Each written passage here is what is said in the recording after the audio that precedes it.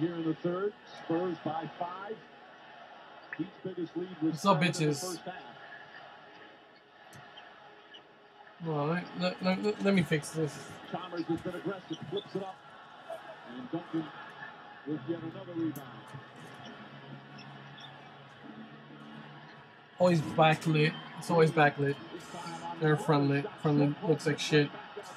Um, well, this time I'm doing something that just came out in theaters. Just came out, uh, I guess, this week.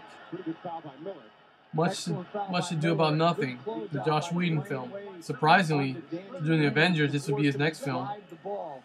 But hey, nothing surprises me with that guy.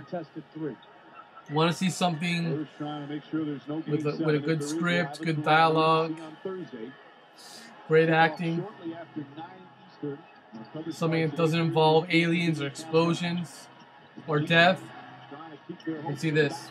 Nice little alternative. I'm surprised it came out now, but maybe it's not competing with anything, so it came out while nothing is uh, comes out on a Tuesday, not on a, on a Friday when all the big movies are coming out. and You see a lot of uh, Josh Whedon's previous cast members from Serenity and this is what they need. and Good um, Buffy the Vampire Slayer. Offense on this possession, it ends up James going to the free throw. the guy who plays Miami just an Reynolds and on Serenity and the chick from the regular season, and you see tonight.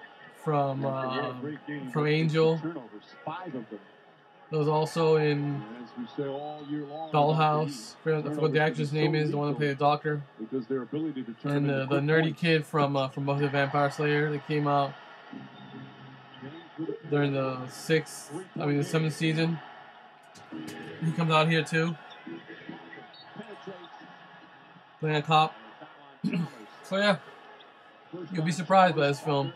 Starts off kind of slow and it's hard to understand in the beginning, but once things start popping, start making sense, then you know there's a lot of comedy to be had in this film. A lot of comedic moments, a bunch of clowns in this film, a lot of funny moments here and there. I think you'll be surprised. You know, it's not your average summer film. I would, I would as- assume this movie would come out during the month of December. A nice fall movie. I wouldn't mind seeing this movie again. Is it a full moon? Maybe even buying it for, you know, since, since I'm, I'm a big Josh Whedon fan. So, yo, check it out. If I had it, this would go on my stack. It's a nice little film. Nice little film that, you know, like I told you, no explosions, no The Rock or Vin Diesel, no Matt Damon, no Hugh, Hugh, Hugh Jackman. Not many stars in this film. So people that you've recognized in films and other films here and there are in it. Girl from also House Last House on, on the on the left comes out in this film too. Not the one that uh, gets raped, but uh, one of the uh, the group that rapes her, the girl. Of having black hair, she has blonde hair. It's pretty cute. So yo, check it out. I'm out. There's not much to say about this film. Peace.